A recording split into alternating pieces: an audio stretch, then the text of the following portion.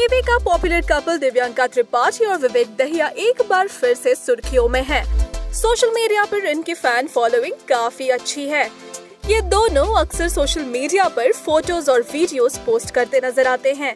ऐसा ही एक फ़ोटो जैसे ही विवेक ने सोशल मीडिया पर शेयर किया, लड़कियाँ दीवानी होती दिखी। जी हाँ इस तस्वीर में विवेक शर्टलेस बॉडी दिखाते नज़र आ रहे हैं। उनकी ये तस्वीर काफ़ी हॉट है। विवेक ने जैसे ही ये फ़ोटो सोशल मीडिया पर शेयर की, वैसे ही उनको शादी का प्रपोजल मिलने लगा।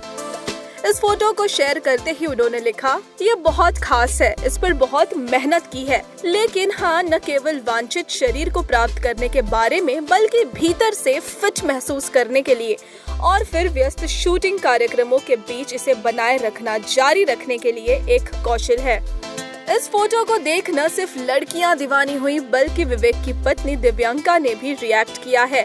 उन्होंने इस तस्वीर के साथ लिखा no touching no touching only seeing only seeing Divyanka, ये रिएक्शन काफ़ी फनी था।